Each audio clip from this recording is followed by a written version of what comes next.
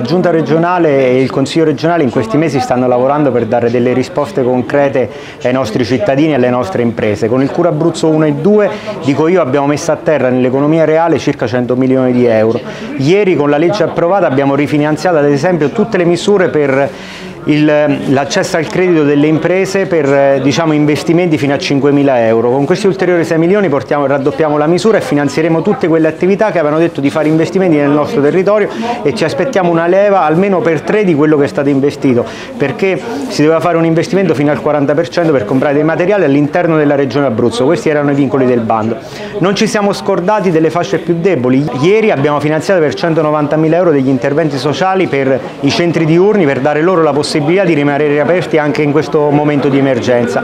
Inoltre con un altro emendamento da aver proposto come primo firmatario è stata approvata una norma che finanzia per 200.000 euro l'equo canone per gli inquilini delle case popolari ATER della città dell'Aquila. Considerate che la vecchia amministrazione in qualche modo li aveva penalizzati, i canoni che erano dai 15 ai 55 euro erano stati portati dai 250 ai 300 euro. L'unico caso era questo della città dell'Aquila che con questo emendamento viene riequilibrato all'interno di tutto il territorio regionale.